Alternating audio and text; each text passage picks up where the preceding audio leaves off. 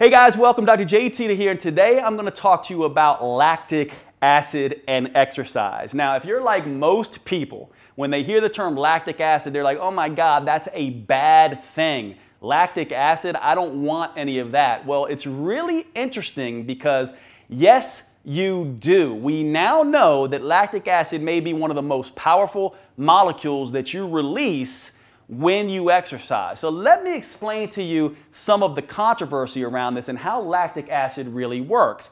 You can think of lactic acid as an adaptation signal to your body. So let's look at a muscle cell.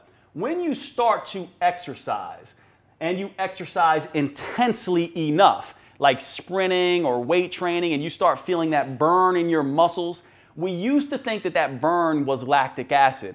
But now we know that that burn is really related to the buildup of protons that make the muscle more acid. And lactic acid is released to balance that pH and to allow you to go longer and perform better. So as this muscle begins to contract, you begin to produce lactic acid, which doesn't cause the burn, but actually protects against the burn.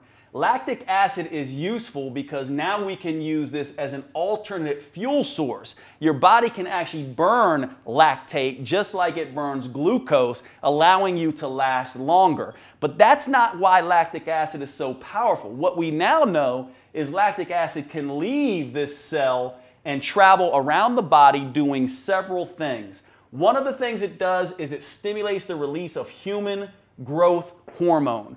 You probably heard of that and how beneficial human growth hormone is for fat burning, healing joints, for the skin and muscle building. Lactic acid also stimulates the release of testosterone, which is amazing at stimulating the growth of muscle, improving the shape of the muscle, making the body tight and toned. And the final thing that lactic acid does is it turns on your metabolic machinery. Each one of your cells has little mitochondria in them. These are fat burning factories in your cell that ramp up fat burning. Lactic acid stimulates the production of the mitochondria. And so you get this one, two, three punch of lactic acid every time you get to move your body. But only certain exercises will do this.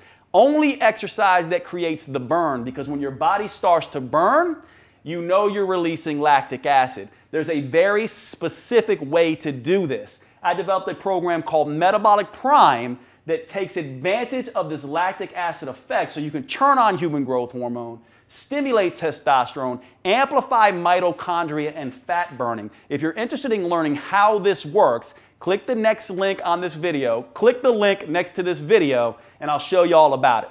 Thanks so much for being here, guys.